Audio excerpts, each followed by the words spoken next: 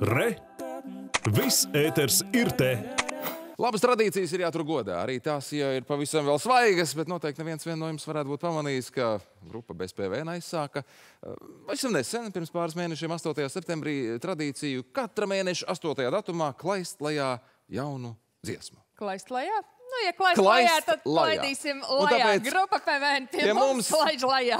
Lajā un lajā ir. Labs rīts.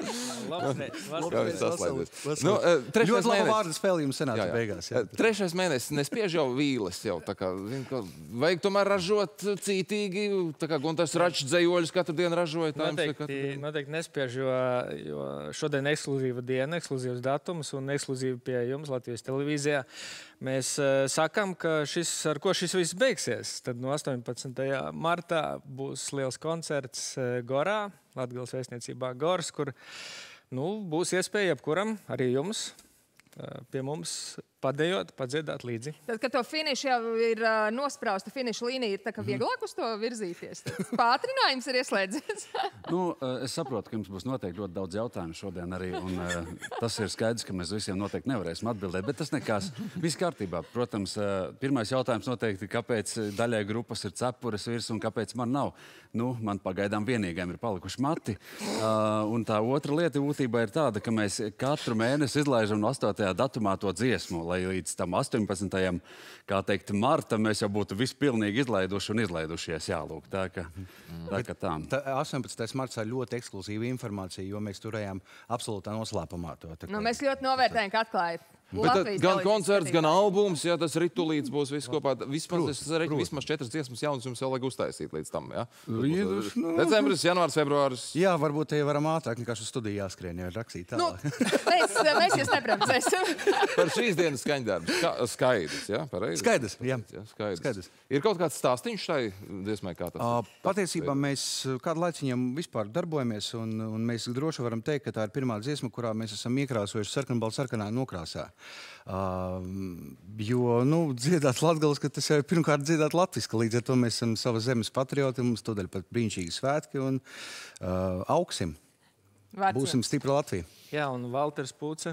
Un galu galā, ja jūs kādreiz, jā, protams, paldies Valteram Pūcam, kurš palīdzēja mums, un uh, filmēšanas laikā mēs viņu, diemžēl, atstājām mežā. Ja jūs kaut ko ceņojat, viņu satiekat, pasveiciniet. Un... Kādiem tie meži ir jāsargā? Tā ir.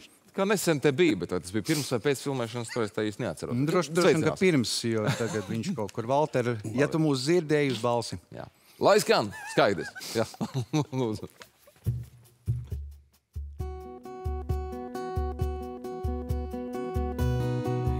jūras krostā. Bez sejas proza, tas laikam ās, vai muna mosa, nātrostā. Smilts kojos mirkst,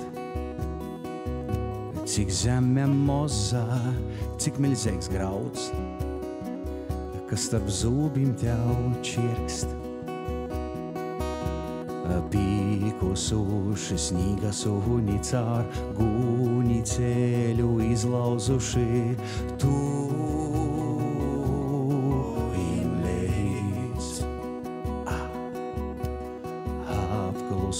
Sniega suni caur gūni ceļu izgrauzuši tu klusēt beidz. Nu skaidom tu cielīs par uzulu augs. Katrā pasaulē virsotnī unskuru un. Tovi vienības teirumi toļumā sauc. Tas bols tevi dzīdēja, tas bols tevi tur. Tas bols tevi dzīdēja, tas bols tevi tur.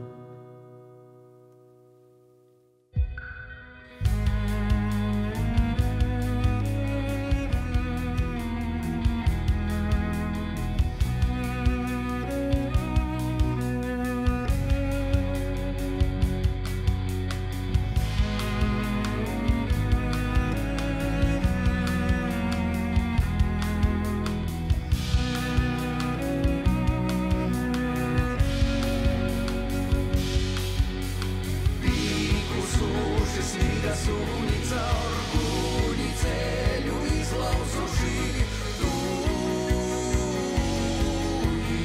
tūnīmēs. Atklūsuši sniga sunica orgūni ceļu izgrauzuši tūnīmēs.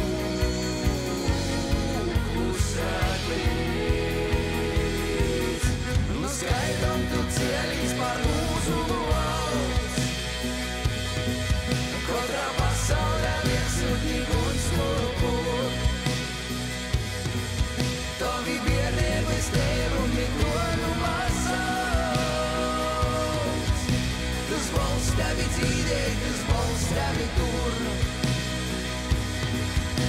Tas balsts tevi dzīvē, tas balsts tevi tur.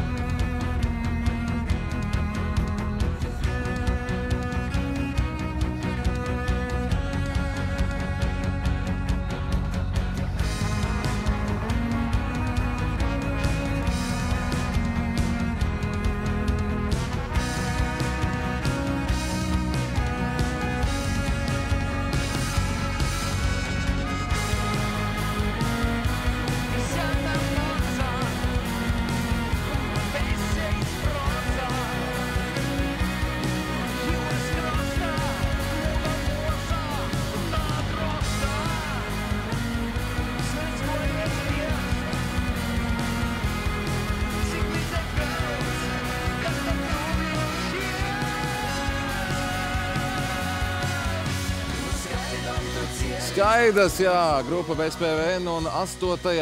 novembrī turpinot 8. datumu tradīciju ar jaunu dziesmu šodien un pretim 18. martam, kad viņa lielā koncerta iecer Gorā.